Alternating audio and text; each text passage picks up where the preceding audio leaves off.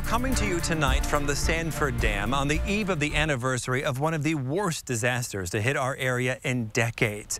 Good evening, everyone. I'm David Custer. We'll have eight others that were shot. Breaking news tonight, three students are dead and eight others injured after a school shooting at Oxford High School this afternoon. The Oakland County Sheriff says the suspect, a 15-year-old student at the school, fired multiple shots with a semi-automatic handgun, then surrendered to arriving deputies. Now, an update from law enforcement was scheduled for 10 o'clock tonight. Now, we are told it's going to be held at the Oakland County Sheriff's Office. That's in Pontiac. Now, updates were held in Oxford this afternoon, and Governor Gretchen Whitmer was on scene at 5 and became emotional when talking about this shooting. I represent the 7th District of Michigan. His name was familiar to just about anyone who lived in mid-Michigan, but today, former longtime Congressman Dale Kildee died at the age of 92. I'm David Custer in downtown Flint, Kildee's hometown, and one of several communities he served for decades. Kildee was the son of an assembly worker at Buick, and he spent more than half his life in service to his constituents, beginning in Lansing before heading to Washington, D.C. His nephew, his successor, Congressman Dan Kildee is sharing his personal thoughts about the man most of us only knew from a distance. What are you going to miss most about your uncle? His sense of humor. The U.S. Preventative Services Task Force is changing who it considers to be high risk by changing who can get screened. You no longer have to be age 55. You can get screened now at age 50. Meg, it's still hard to believe how much has changed in the last year. One of the major factors of what caused all of that change, the failure of the Edenville Dam. It caused Wixom Lake to drain dry and it sent a tidal wave of water heading south.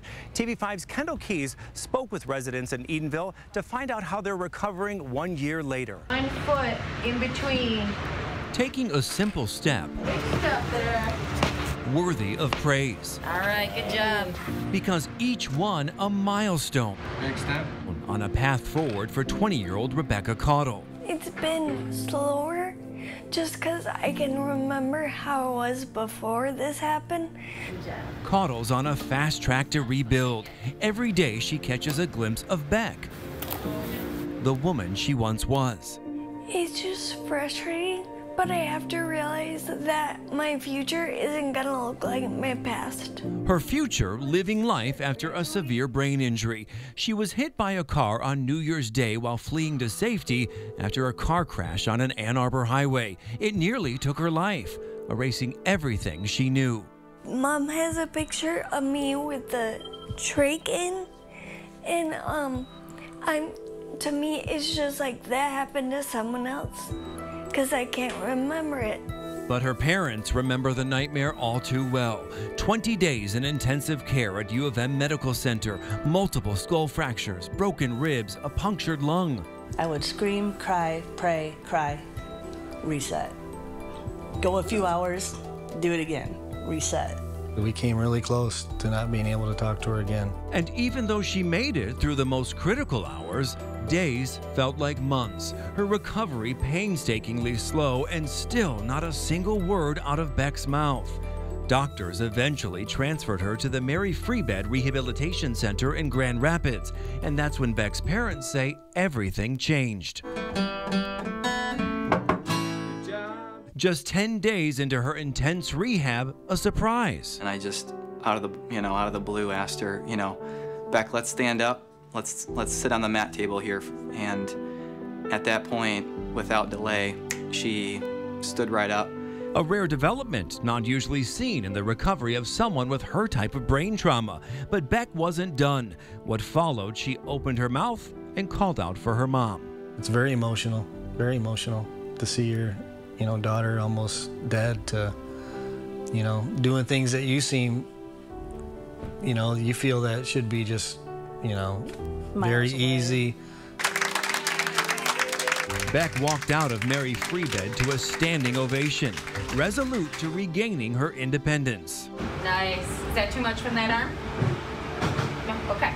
I'm determined to get back as close as I can to normal. Beck's back home, recovering under the watchful eye of mom and dad. Are they old? yeah. Her rehab just a few hours a week at Covenant in Saginaw. Big step. Go. Yep. She's very young and motivated. She's ready to get back to where she was. And she's not sad. She can only dream about the one thing she misses most. It actually brought a smile to her face when she told me, because Beck knows it's only a matter of time before she will turn that dream into reality.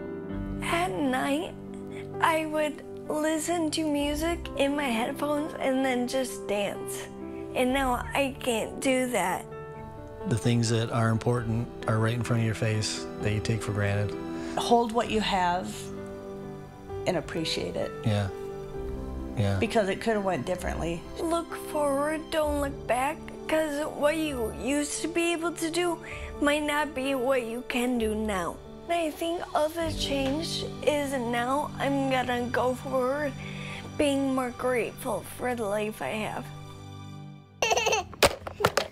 When little Dolly came into her mom's life, He fell down! He fell down! she believed it was nothing short of a miracle. I love you. I was told I would never have kids because of my past trauma.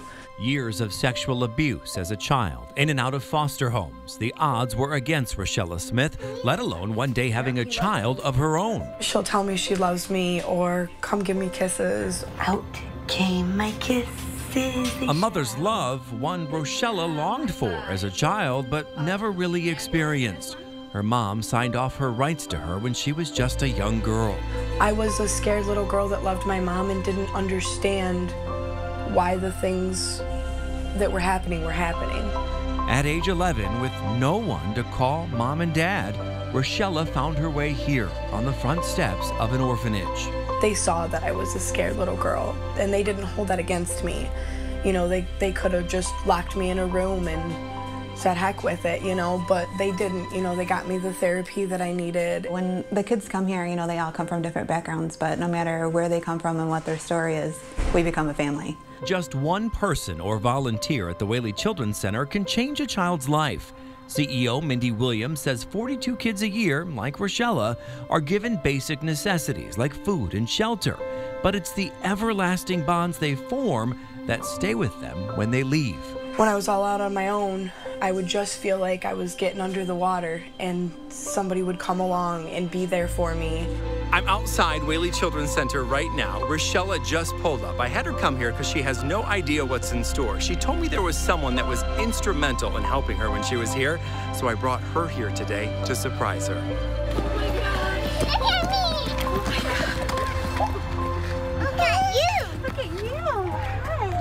I feel like the little kid running up to her to thank her for what she's done for me. I didn't know you'd be here. Oh, I almost didn't recognize you. She was like, Do you want to go to church with me? And then I would go to church with her every Sunday after that. And that was a huge thing because I couldn't always go to church. Our plan was to figure out a way that we could fellowship at a church, so we found a local church. And on Sundays when I worked, we would get up early in the morning and we really would go and praise God together. Thank you. I miss you. I miss you too, baby. I realized later on in life that they were so important to me and they weren't the enemies that my little girl brain said they were. After seeing that reunion, my heart is exploding. It always makes me so happy to see kids that come back and kind of tell their story and just to see that and feel the genuine love that they both have for each other. It's it's definitely overwhelming. You'll often find Rochella dropping off donations to Whaley, setting an example for little Dolly, hoping one day she'll understand that if her mom hadn't been dropped off on these steps, their story may have never been told. the bunny for the baby? Giving the bunny to the baby? If I can make it through everything I made it through then, I shouldn't give up now because now it's so beautiful. These are the struggles I wanted. I got you. Now's not the time for giving up anymore.